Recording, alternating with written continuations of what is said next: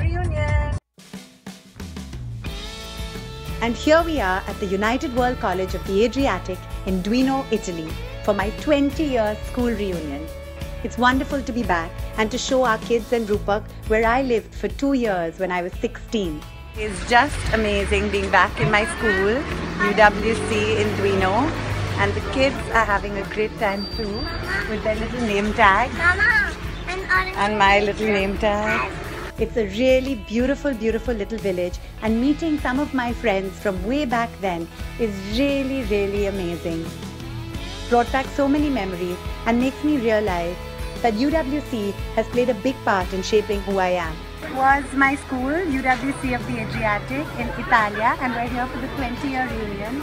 And there's everyone at the reunion barbecue. I walked into a room at 16 with roommates from Croatia, Sweden, me from India, Egypt, Bosnia, and Romania. And honestly, it was really something that made me realize no matter what region, religion, or culture we're from, we all share similar emotions and are similar in so many ways.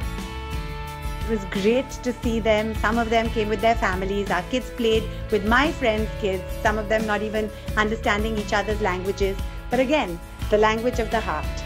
We also had a lovely choir when we were in school with this wonderful choir master, Piero, Maestro Piero.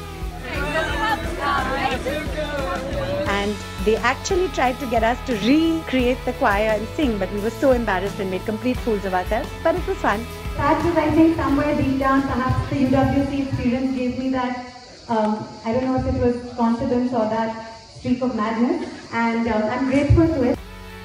And so, reunions are fun. It's always sad to say goodbye as well. But this beautiful little village certainly has a very special place in my heart, as does UWC.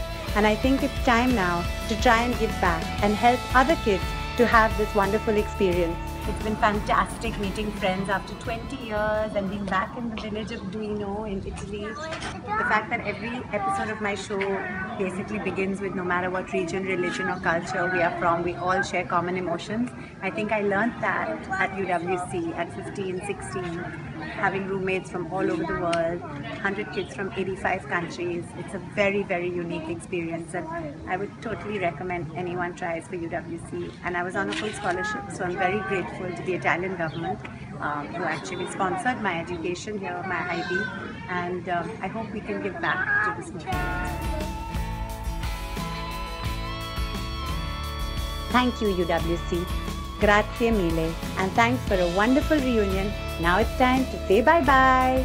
And we're going to slowly be heading back home. And till we meet again. Ta-ra, ta-ra, ta-ra.